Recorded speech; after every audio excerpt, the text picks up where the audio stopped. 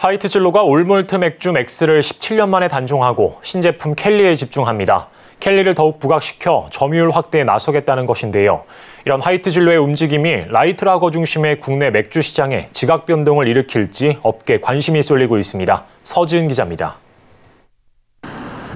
하이트진로가 켈리에 힘을 실으면서 all malt 제품이 올해 국내 맥주 시장을 선도할 것이란 기대감이 커지고 있습니다. 하이트진로는 오늘 맥스의 단종 소식을 알리고 헌정 영상을 공개했습니다. 이번 단종을 통해 올해 4월 출시한 all malt 신제품 켈리에 더욱 집중하겠다는 것입니다.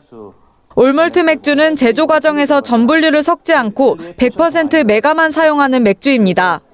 현재 국내 맥주 시장은 all malt 맥주보단 청량감을 강조하기 위해 맥아의 비중을 낮춘 light lager가 주류를 이루고 있습니다. 실제 가정용 맥주 시장 기준 맥아 비율이 낮은 제품인 오비 맥주의 카스프레시와 하이트 진로의 테라가 맥주 시장 점유율 절반 이상을 차지합니다. 맥주에 소주를 섞어 마시는 소맥 문화로 인해 무거운 느낌을 주는 all malt의 선호도가 높아지지 못했다는 게 업계 분석입니다.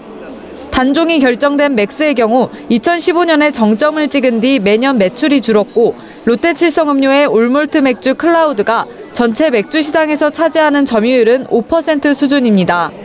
하지만 코로나 이후 폭음과 이른바 폭탄 중심의 술자리 문화가 잦아들고 있어 맥주 시장의 변화 가능성이 커졌습니다. 실제 켈리의 경우 출시 후 약 한 달 만에 100만 상자 판매를 돌파하며 올몰트 맥주 흥행 가능성을 보였습니다. 최근에 그 혼술 혼술 트렌드에 맞춰가지고 섞지 않고 이제 맥주 본연의 맛을 즐기고자 하는 소비자 needs가 커지고 있어요. 그렇다 보니까 어, 관련해 가지고는 이제 신제품 출시라든지 리뉴얼도 계속 이어질 것으로 보여서 어, 올해 이제 all malt 맥주 시장 계속 성장할 것으로.